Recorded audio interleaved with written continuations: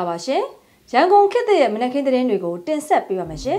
NUG NUCC CRPH နဲ့ PDF တွေကိုချိန်မုံရေးအကြမ်းဖက်စစ်ကောင်စီရဲ့၈နိုင်နီးပါးကြာတဲ့သွေးပြက်ခြောက်ချားနေတဲ့လှုပ်ဝက်စီဝေးမှတ်တမ်းပေါက်ကြားလာပါတယ်ရှမ်းပြည်နယ်တိန်ကြီးမှာ MNDA နဲ့ကျန်းဖက်စစ်ကောင်စီတို့တိုက်ပွဲဖြစ်ပွားပြီးစစ်တပ်ဘက်က30ကျော်သေသွားပါတယ်။ NUG PDF နဲ့စစ်တပ်ဆန့်ကျင်တဲ့ website လူမှုကွန်ရက်အကောင့်တွေကိုပိတ်သိမ်းရေးအတွက်စစ်ကောင်စီက Google နဲ့ Facebook ကိုကန့်ကွက်စာပေးပို့ပြီးမှလည်းအကြောင်းမထူးတဲ့အတွက်စစ်တပ်ပိုင်မီဒီယာတွေကိုလူကြည့်ဖို့နီးလန်းရှာနေတဲ့တဲ့ပါဝင်နောက်ဆုံးရတဲ့တွေကိုတင်ဆက်ပေးပါမယ်ရှင်။အခုပထမဆုံးတင်ဆက်ပေးခြင်းတဲ့တဲ့ဘို့ကတော့အကျန်းဖက်မင်းအောင်လိုင်းဦးဆောင်တဲ့စစ်ကောင်စီဟာ NUG NUCC CRPH နဲ့ PDF တွေကိုချိန်မုံရေးအတွက်၈နိုင်နီးပါးကြာတဲ့သွေးပြက်ခြောက်ချားနေတဲ့လှုပ်ဝက်အစည်းအဝေးမှတ်တမ်းကိုရန်ကုန်ခေတ်သစ်သတင်းဌာနကရရှိလိုက်ပါတယ်။အဲဒီလှုပ်ဝက်အစည်းအဝေးကိုဒီဇင်ဘာလ23ရက်နေ့ကနေပြည်တော်မြန်မာနိုင်ငံရဲတပ်ဖွဲ့ဌာနချုပ်မှာပြုလုပ်ခဲ့တာလည်းဖြစ်ပါတယ်။အဲ့ဒီအစည်းအဝေးကိုပြည်ထောင်ဝန်ကြီးစိုးထုတ်ကဥဆောင်ကျင်းပတာဖြစ်ပြီးဆွေးနွေးမှုရလဒ်ကိုမင်းအွန်လိုင်းစီကိုဓာတ်ရိုက်အစီရင်ခံရတဲ့အစည်းအဝေးလည်းဖြစ်ပါတယ်။အစည်းအဝေးမှာလက်ရှိအခြေအနေတွေအရ NUG CRPH PDF တွေကိုအကြမ်းဖက်အဖွဲ့အစည်းဖြစ်သတ်မှတ်ဖို့အတွက်စစ်ကောင်စီရဲ့စ조사မှုဟာမအောင်မြင်တဲ့အနေအထားကိုစိုးထုတ်ကဆွေးနွေးသွားခဲ့ပါတယ်။ဒါအပြင်နေဆက်ရရဒုတိယဝန်ကြီးဆိုသူကလူမှုကွန်ရက်မှာဟက်ကာတွေကိုငှားရမ်းကသတင်းရယူလှုပ်ဆောင်မှုအတွက်အကြံပေးတာတွေစစ်တပ်အတွက်သတင်းပေးမရှိတဲ့အတွက်ကြောင့်သတင်းပေးမွေးဖို့အတွက်ငွေကျပ်ရန်ပုံငွေတန်း900ချထားပေးတာတွေလည်းပါဝင်ပါတယ်။ပြည်တွင်းငွေကြေးစစ်ဆေးမှုကိုလည်းအကြံဖက်စစ်ကောင်စီက မထင်းချုံနိုင်ဘူးလို့၎င်းတို့ကဝန်ခံထားပြီးပြည်တွင်းမှာငွေကျပ်သိန်းတရာကျော်လွှဲပြောင်းမှုမှန်သမျှကိုစောင့်ကြည့်နေတယ်လို့လည်းဘိုးဘန်ဘက်ကပြောပြပါဗျ။ဒါအပြင်ပြည်ထောင်ဝန်ကြီးက CDM တွေပြပထုတ်ခွာခွင့်ကိုပိတ်ပင်ထားပြီး CDM တွေကိုပြစ်မှတ်ထားစောင့်ကြည့်ဖို့မလေးရှားနဲ့ထိုင်းကနေပြန်လာတဲ့သူတွေကိုပြစ်မှတ်ထားစောင့်ကြည့်ဖို့ပြပပြန်လွတ်ခံရသူ900နီးပါးကိုတေချာစောင့်ကြည့်ဖို့ကိစ္စတွေလည်းအစည်းအဝေးမှာဆွေးနွေးခဲ့ပါတယ်။ဒါအပြင်နိုင်ငံတကာက NUG CRPH နဲ့ PDF ကိုအတိမတ်ပြုမှုတွေကို၎င်းတို့ကဝန်ခံထားကြပါသေးတယ်။ဒီလိုအခြေအနေတွေကြောင့်တော်လန်ရာမြင့်တက်လာနိုင်တဲ့အတွက်ကြောင့်အလွန်ရက်ဆက်တဲ့နီလန်းတွေကိုသုံးဖို့ပြင်ဆင်နေတာတွေကိုလည်းဆွေးနွေးထားကြပါသေးတယ်။တော်လန်ရင်းနဲ့ပတ်သက်ပြီးတော့လဲဝန်ကြီးဌာနနဲ့အဆောက်အုံတွေမှာ drone ဖြတ်ချဆက်တွေ drone ပစ်ချလက်နက်တွေဆက်သက်ရေးဖြတ်တောက်တဲ့ဆက်တွေကိုတက်ဆင်ဖို့အတွက်ဆွေးနွေးခဲ့တာလည်းတွေ့ရပါတယ်။အဲ့ဒီသွေးပြက်ခြောက်ချားနေတဲ့လှုပ်ဝက်အစည်းအဝေးတက်ရောက်သူများစဉ်အစည်းအဝေးမှတ်တမ်းတွေအားလုံးကိုရန်ကုန်ခေတ်သစ်သတင်းဌာနကရရှိထားတာဖြစ်ပြီးစာမျက်နှာ40ပါရှိရာပြည်ထောင်ဝန်ကြီးဌာနကာကွယ်ရေးဝန်ကြီးဌာနအပါအဝင်စစ်ကောင်စီရဲ့ထက်တန်းအရာရှိ55ဦးတက်ရောက်ခဲ့ကြတဲ့အစည်းအဝေးလည်းဖြစ်ပါတယ်။အဲဒီအစည်းအဝေးမှတ်တမ်းအပြည့်စုံကိုရန်ကုန်ခေတ်သစ်သတင်းဌာနစာမျက်နှာမှာဝင်ရောက်ဖတ်ရှုနိုင်ပါတယ်ရှင်။ ဒီတစ်ခါမှာတော့အမျိုးသားညီညွတ်ရေးဆိုရရဲ့စိုးမိုးနယ်မြေတွေမှာအခွန်ကောက်ခံခဲ့ရကျပ်3ဘီလီယံအထိကောက်ခံရရှိခဲ့တယ်လို့စီမံကိန်းဗန်နာရေးနဲ့ရင်းနှီးမြှုပ်နှံမှုဝန်ကြီးဌာနပြည်ထောင်စုဝန်ကြီးဦးတင်ထွန်းနိုင်ကပြောပါရယ်မနေ့ကပြုလုပ်ခဲ့တဲ့သတင်းစာရှင်းလင်းပွဲမှာ၎င်းကအခုလိုပြောဆိုလိုက်တာလည်းဖြစ်ပါတယ်။ NUG ထိန်းချုပ်စိုးမိုးနယ်မြေဖြစ်တဲ့မြို့နယ်38မြို့နယ်ကနေအခွန်ကောက်ခံမှုဖြင့် ကျပ်ငွေ3ဘီလီယံကောက်ခံရရှိခဲ့တာလည်းဖြစ်ပါတယ်။အဲ့ဒီအခွန်ငွေဟာ2022ခုနှစ်အုပ်ချုပ်ရေးမူဝါဒတွေချမှတ်တဲ့ဇွန်လကနေဒီဇင်ဘာလအထိကောက်ခံရရှိထားတဲ့အခွန်ငွေဖြစ်တယ်လို့လည်းသိရပါတယ်။ကောက်ခံရမှာလဲမူဝါဒတွေချမှတ်ပြီးမြေပြင်အခြေအနေတွေနဲ့ညှိနှိုင်းက ပွင့်လင်းမြင်သာစွာကောက်ခံထားတာဖြစ်တယ်လို့လည်းဆိုပါတယ်။ရရှိလာတဲ့ဗန်နာငွေတွေကိုပြည်ထောင်စုက30ရာခိုင်နှုန်းပြည်သူ့အုပ်ချုပ်ရေးအဖွဲ့က30ရာခိုင်နှုန်းပြည်သူ့ကာကွယ်ရေးအဖွဲ့တွေက40ရာခိုင်နှုန်းသုံးစွဲဖို့အတွက်မူဝါဒချမှတ်ထားတယ်လို့လည်းဝန်ကြီးကပြောပါတယ်။တော်လန်ရေးအစိုးရဖြစ်တဲ့အတွက်ကြောင့်ပြည်သူတွေကိုဝန်ထုတ်ဝန်ပိုးမဖြစ်စေအောင်နဲ့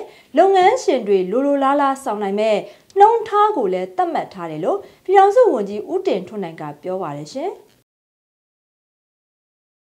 ဒီတစ်ခါမှာတော့စစ်တပ်ရဲ့အတူရောင်ရွေးကောက်ပွဲအတွက်လူရည်စင်းလိုက်လံကောက်ယူနေတဲ့သကိုင်းတိုင်းမြောင်မြို့နယ်အထွေထွေအုပ်ချုပ်ရေးဦးစီးဌာနဌာနမှူးရဲ့ဇနီးဖြစ်သူအပါအဝင်ထွေအုပ်ဝန်ထမ်း၄ဦးကို PDF တပ်တွေကဖမ်းမိခဲ့တယ်လို့သိရပါတယ်။၎င်းတို့ကိုဇန်နဝါရီလ14ရက်နေ့မှာဖမ်းမိခဲ့တာဖြစ်ပြီးလူရည်တကောင်စင်းတွေကောက်ယူနေစဉ်မှာဖမ်းဆီးရမိခဲ့တာဖြစ်တယ်လို့လည်းသိရပါတယ်။ လက်ရှိမှာဖမ်းမိသူတွေကိုဥပဒေနဲ့အညီကောင်းမွန်စွာထိန်းသိမ်းထားပြီးအမျိုးသားညီညွတ်ရေးအစိုးရရဲ့ညွှန်ကြားချက်အတိုင်းအကြမ်းဖက်မှုတိုက်ဖျက်ရေးဥပဒေနဲ့အရေးယူသွားမယ်လို့လည်းသိရပါတယ်။အလားတူစကိုင်းတိုင်းပလဲမြို့ပေါ်မှာအကြမ်းဖက်စစ်သားရဲများပြားနဲ့လူရည်တကောင်စင်ကောက်ယူနေတဲ့အဖွဲ့ကိုလက်နက်ငယ်တွေနဲ့ပြစ်ခတ်တက်ခတ်ခဲ့တယ်လို့ ဒေါင်းနဲ့နယ်စီမချပျောက်ကြားတပ်ဖွဲ့စီကသိရပါတယ်။ဇန်နဝါရီလ15ရက်နေ့နနက်8နိုင်ခွဲလောက်မှာပလဲမြို့မြို့ဦးရက်ွက်ဗန်ယုံအနီးမှာအယက်သားဝန်တန်း6ဦးနဲ့စစ်သားရဲတွေဟာတရားဝင်ရွေးကောက်ပွဲအတွက်မဲစင်းတွေကောက်ယူနေစဉ်မှာလက်လက်ငယ်တွေနဲ့ဝင်ရောက်ပစ်ခတ်တိုက်ခိုက်ခဲ့တာလည်းဖြစ်ပါတယ်။အပြန်အလှန်ပစ်ခတ်မှုဟာ10မိနစ်ခန့်ကြာမြင့်ခဲ့ပြီး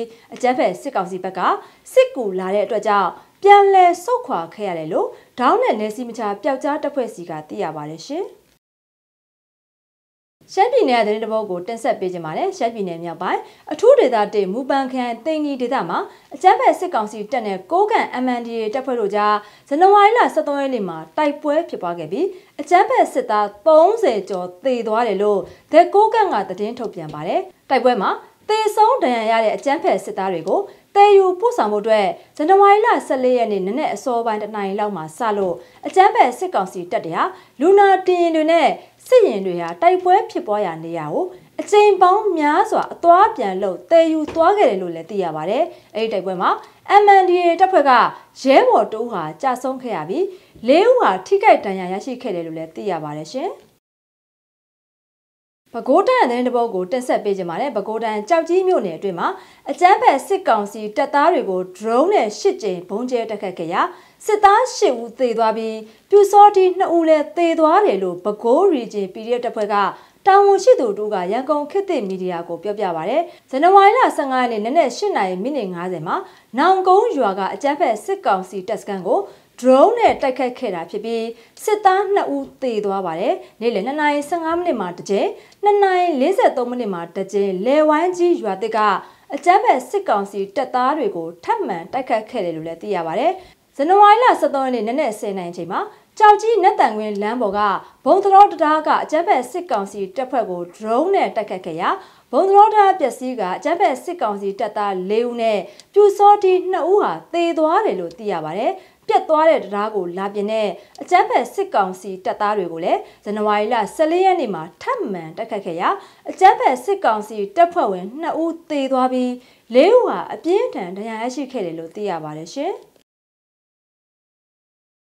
အခုနောက်ဆုံးတင်ဆက်ပေးခြင်းတဲ့တဲ့ဘုတ်ကတော့ပြည်သူလူထုတရက်လုံးကထောက်ခံနေတဲ့ NUG CRPH PDF နဲ့စစ်တပ်ဆန့်ကျင်တဲ့ website လူမှုကွန်ရက်အကောင့်တွေပိတ်သိမ်းရေးအတွက်စစ်ကောင်စီက Google နဲ့ Facebook ကိုကန့်ကွက်စာရေးသားပေးပို့ပေးမဲ့လေအကြောင်းမထူးတဲ့အတွက်ကြောင့်နီးလန်းရှာနေရတယ်လို့ပို့ဆောင်ရေးနဲ့ဆက်သွယ်ရေးဒုတိယဝန်ကြီးအောင်ကျော်ထွန်းက အကြမ်းဖက်စစ်ကောင်စီရဲ့လှုပ်ဝက်အစည်းအဝေးမှာပြောဆိုလိုက်ပါတယ်စစ်ကောင်စီရဲ့လှုပ်ဝက်အစည်းအဝေးမှတ်တမ်းကိုရန်ကုန်ခေတ်သစ်သတင်းဌာနကရရှိထားတာလည်းဖြစ်ပါတယ်ပြည်ထောင်ဒုဝန်ကြီးဗိုလ်ချုပ်စိုးတင်နိုင်ကစစ်တပ်ပိုင်မီဒီယာတွေကိုလူတိုင်းမကြည့်ကြတဲ့အတွက်နီးလန်းရှာနေရတယ်လို့ပြောပါတယ်အာနာရှင်စစ်တပ်ကိုနိုင်ငံတော်ဝန်တွန်းလှန်တော်လှန်နေချိန်မှာအကြမ်းဖက်စစ်ကောင်စီကတော်လန်ရေးမှာပါဝင်အားပေးရင်အရေးယူမယ်ဆိုတဲ့သတင်းစကားကိုမိုဘိုင်းဖုန်း46တန်းကနေ စာတိုပေးပို့မယ်လို့လည်းချင်းချောက်ပြောဆိုလိုက်ပါတယ်။ဒါအပြင်တော်လန်ရေးအတွက်လှုပ်ဆောင်နေတဲ့ PDF ဂိမ်းတွေကိုလည်းနှိမ်နှင်းဖို့အကြံပြုထားတာလည်းတွေ့ရပါတယ်။နေဆက်ရေးရဒုတိယဝန်ကြီးဗိုလ်ချုပ်ခွန်တန့်စောထူးကတော့လက်ရှိမှာလူကိုယ်တိုင်တစ်ဖက်သက်သတင်းတွေရယူနိုင်ဖို့လွန်စွာအားနည်းနေပြီးကန့်သက်ချက်တွေရှိနေတယ်လို့လည်းဆိုလိုက်ပါတယ်။ဒါကြောင့်ဖုန်းနဲ့စကားပြောဆက်တွေကိုကြားဖြတ်ဖမ်းယူနားထောင်တာ လူမှုကွန်ရက်မှာဟက်ကာတွေနဲ့ပူးပေါင်းပြီးဆောင်ရွက်မယ်ဆိုရင်တော့တစ်ဖက်သက်သတင်းတွေကိုပုံမရနိုင်တယ်လို့အဲ့ဒီအစည်းအဝေးမှာအကြံပြုဆွေးနွေးခဲ့ပါတယ်ရှင်ဟုတ်ကဲ့ပါရှင်ဒါကတော့ရန်ကုန်ခေတ်ရဲ့မနက်ခင်းသတင်းတွေကိုတင်ဆက်ပေးတာပါကြည့်ရှုပေးရတဲ့အတွက်ကျေးဇူးတင်ပါတယ်ရှင်ကျမညပါ